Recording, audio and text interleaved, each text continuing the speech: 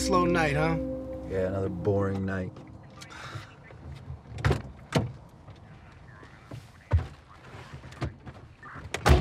Boring. We helping keep people safe. Yeah, man, where's the action? Where's the thrill? Still not getting any at home, huh? Man, I get plenty. You know you clearly haven't mastered the art of lying yet. It's just like you haven't got the face right. It's just- All right, you caught me. I'm in the doghouse again. Again? Man, Bethany's still not over that argument yet, huh? She knows how to push my buttons. Well, you know what they say. Happy wife, happy life. Wait, whose side you on? Your best friends are Bethany's. Ah, come on, man. 420.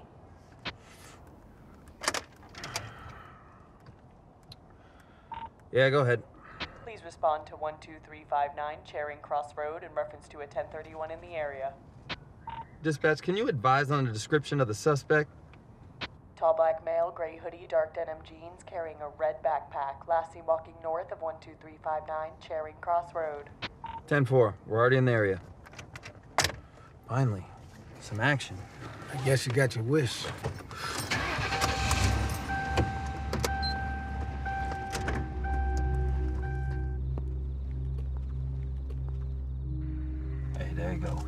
Right there. Yep, that's a positive ID in a red backpack. All right, I'll contact. I'll cover. Hey! Can we help you?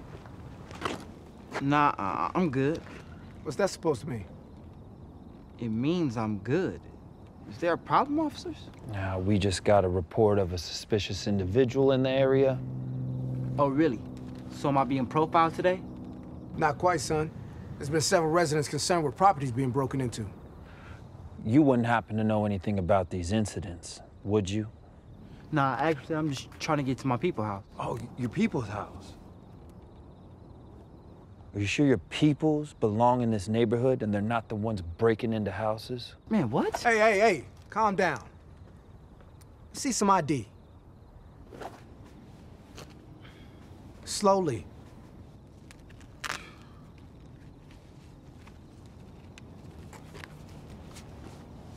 Back up a little bit. Jerome Davis. In the flesh. All right. All right. I'm gonna go run this info. Okay. You good? Yeah. I'm good. All right, I'll be right back.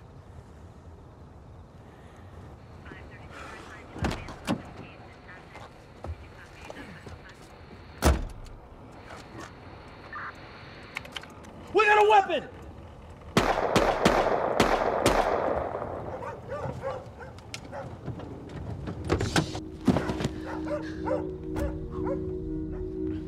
The hell happened? He, he had a weapon!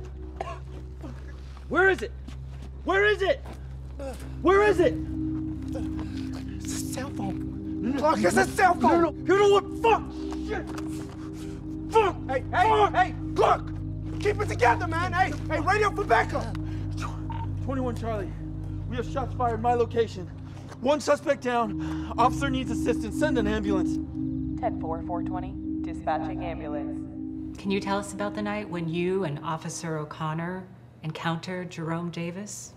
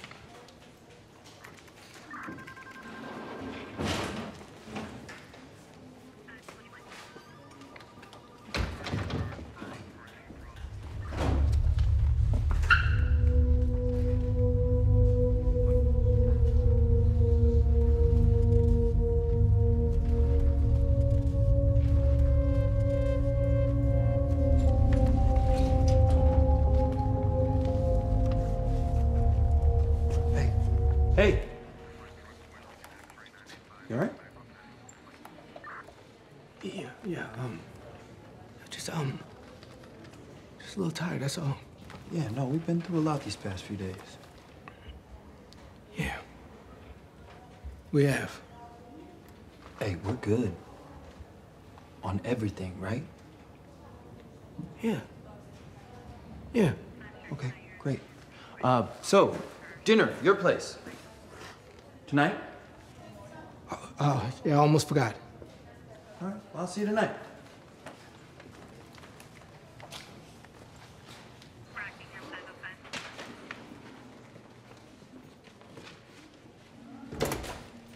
I am so disappointed in this city. My son loved this city, and this city killed my son. Murdered him. And a murderer gets away? Are you kidding me right now? Crazy. We're not evolving as a civilization. We're devolving. Back. But we have taken steps forward. People have died for us to have these rights. Yes. Millions. 2020 feels like 1969. Damn. Come on. What is it gonna take for us to get justice? Clark O'Connor murdered my boy. Killed him. So,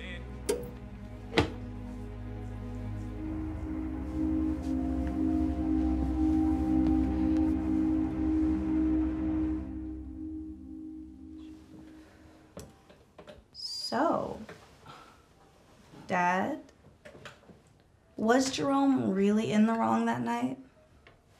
Um, everything happened really fast that night, and it's kind of blur.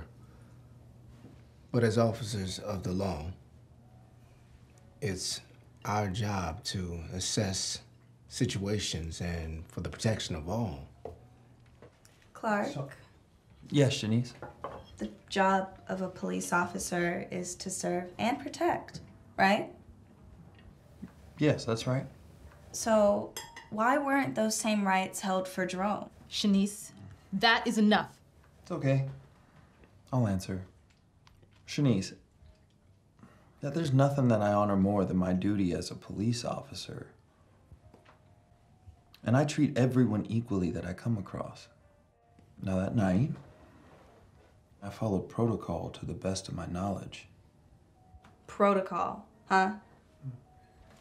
Does following protocol tell you to shoot to kill and ask questions later? Or is that just standard protocol for harassing and profiling black people?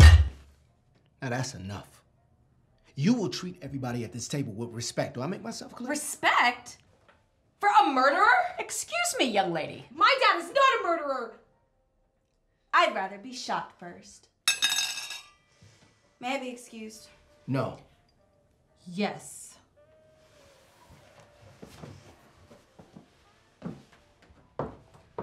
Shanice, it was an accident. I...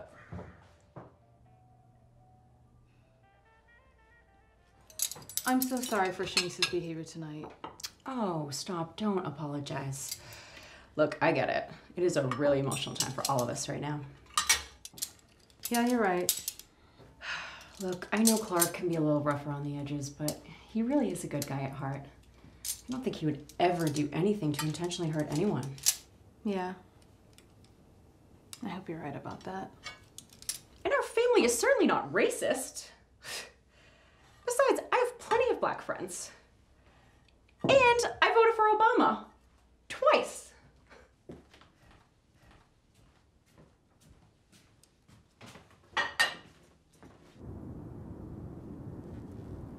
So, what'd you really see that night?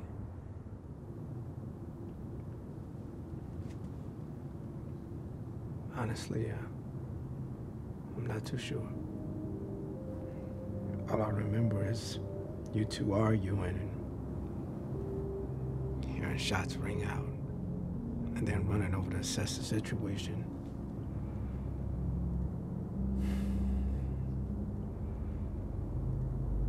Never forget holding that boy in my arms as he died that night.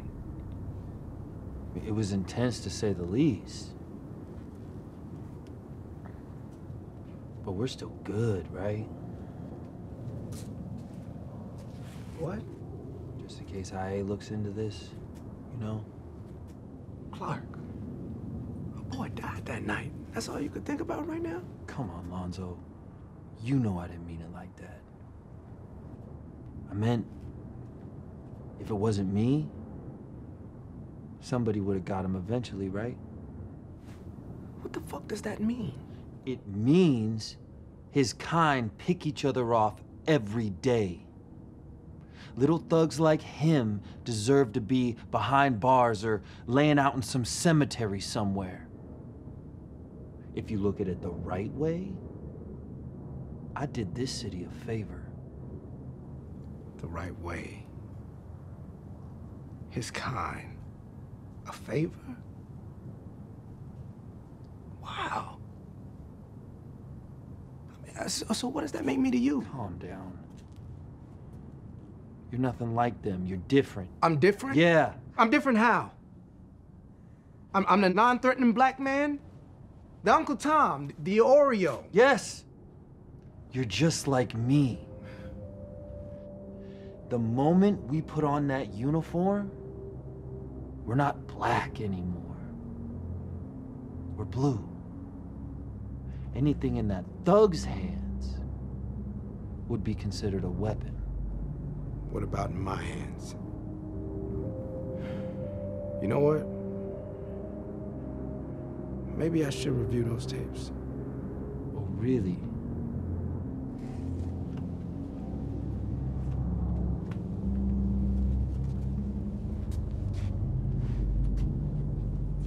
So what are you saying? I'm saying. Good night, Officer O'Connor. Bethany, Cassie.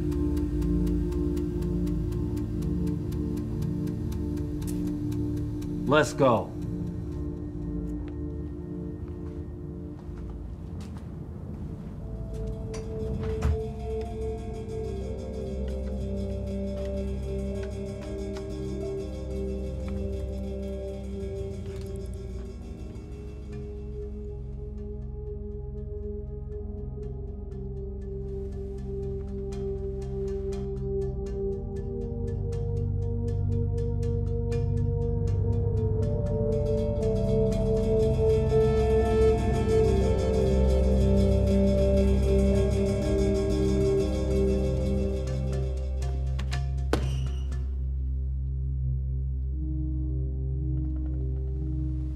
So, you're saying this was an accident?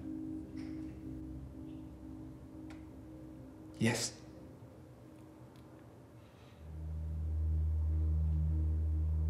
No one ever meant or wanted to kill a kid.